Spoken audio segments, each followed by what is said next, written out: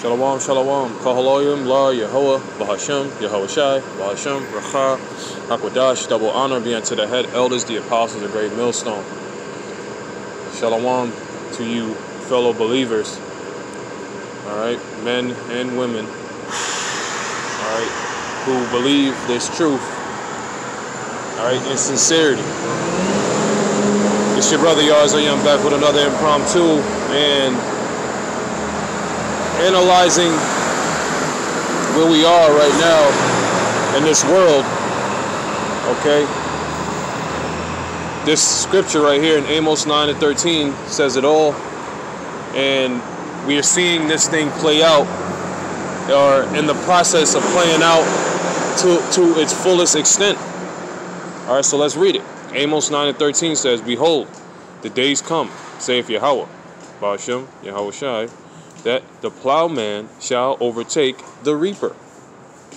You see?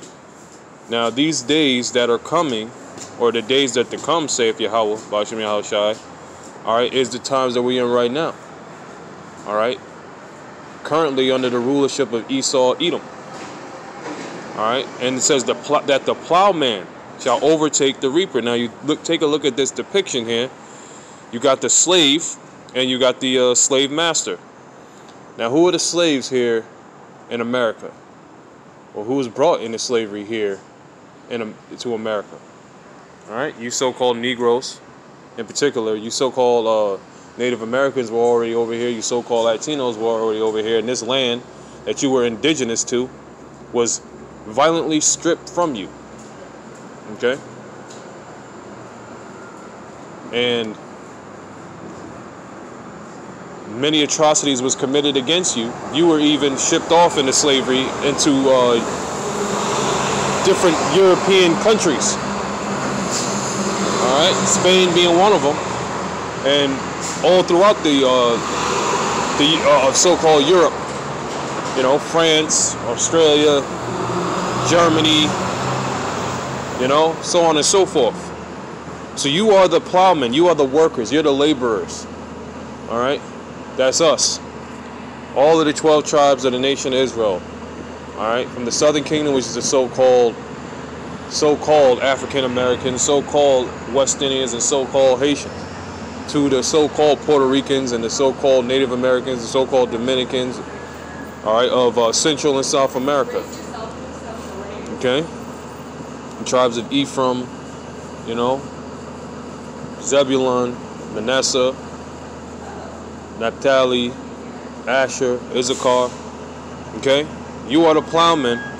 And it says, shall overtake the reaper. The reaper, all right, you could go to James, the fifth chapter, all right, the first verse, and read on down.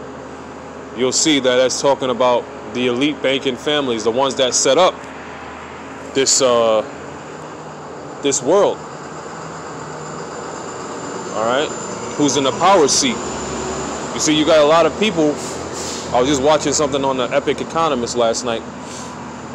You got a lot of people that's finna, finna um, that lost their jobs, that are re- totally relying on government assistance and unemployment and uh, mass evictions out of their apartments and houses are pending right now. Okay? And this is creating this is this is created what? And is going to create what? All right? Disorder, anarchy. All right? So this is we're we're heading in this time, man. All right, it's going to be mass anarchy, and anarchy means a lack of uh, of, of uh, order.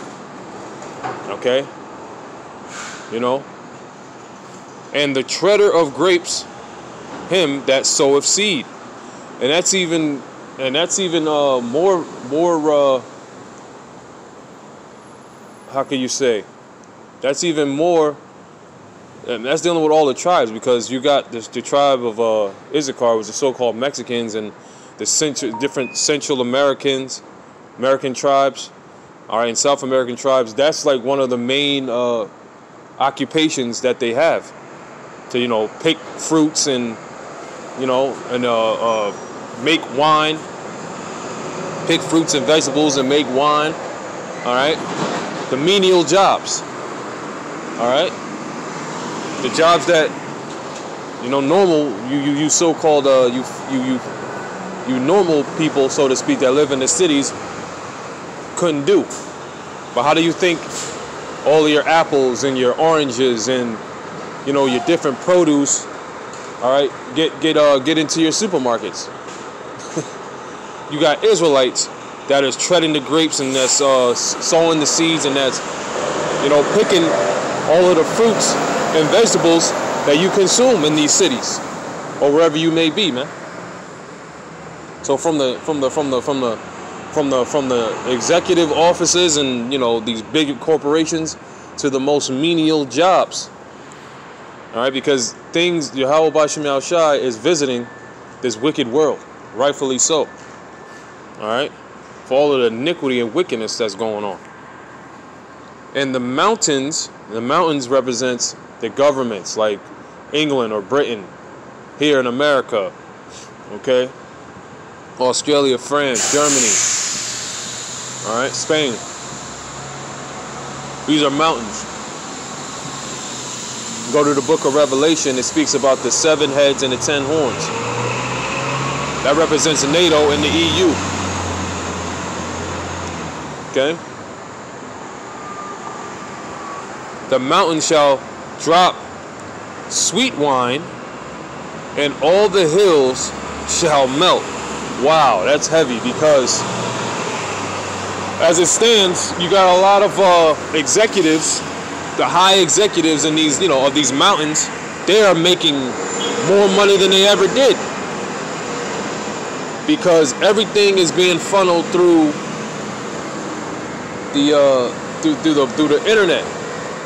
All right, people are uh, the, the, the, those that that own these major corporations like Google and Amazon, which Jeff Bezos he's a he's on a lower totem pole. He's not an elite, so to speak. He's not part of the elite banking family's bloodline, but nonetheless, he has a corporation that benefits them. So that's like their sweet wine. Their sweet wine is the the, the, the goodies that they're able to extract from the people, man. All right, meaning the rich come become richer and the poor becomes poorer, man. It says, and all the hills shall melt because the hills, they're not doing as well as the mountains, man. And the hills are lower governments, man. All right? These lower governments. All right? Hey, so Yahweh Bashim Yahweh Shai is visiting the world, which he made, and it's just going to increase and increase.